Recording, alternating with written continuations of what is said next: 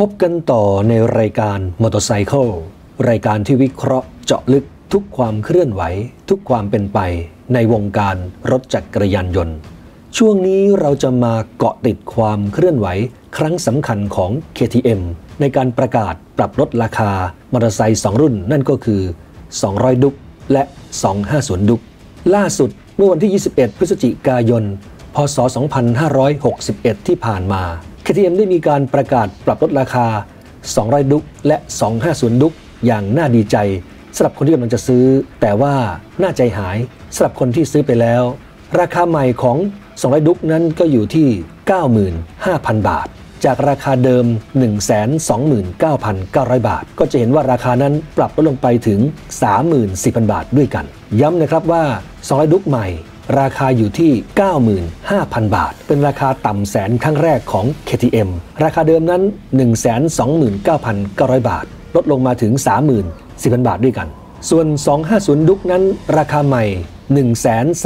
134,900 บาท ราคาเดิม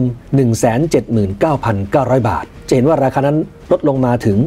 45,000 บาทเลยทีเดียว ย้ำอีกทีนะครับว่าราคานั้นปรับลดลงมาถึง 45,000 บาทด้วยกัน นับเป็นการประกาศราคาแบบช็อคไพรส์ครั้งสำคัญของ KTM ในเมืองไทยอีกครั้งหนึ่ง การปรับราคาครั้งนี้ของ KTM นั้น มีนัยสำคัญที่ต้องบอกกับคุณผู้ชมเลยครับว่าจับตามองให้ดีๆย้อนหลังกลับไปนะครับเมื่อ 3 ปีที่แล้ว KTM ภายใต้การดูแลของคุณค่าคอร์ปอเรชั่นได้มีการปรับราคาลดลงมาอย่างมากมาย ในช่วงกลางปี พศ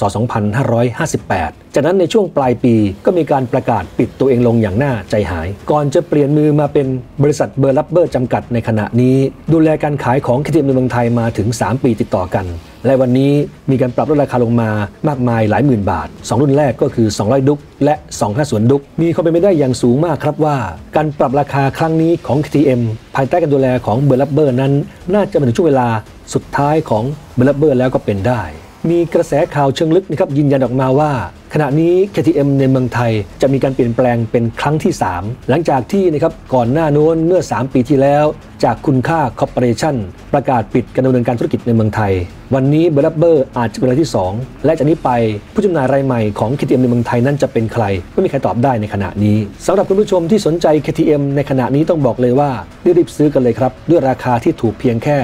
95,000 บาทกับรุ่น 200 ดุกหรือ 250 ดุกนะครับที่มีราคาเพียง